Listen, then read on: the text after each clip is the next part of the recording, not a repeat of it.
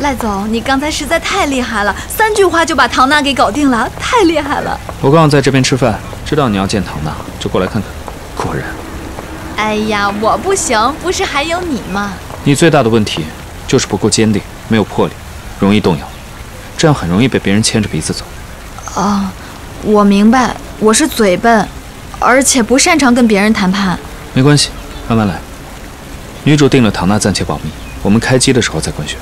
明白。这个我知道，这一般都是剧组的规矩，绝对不能提前。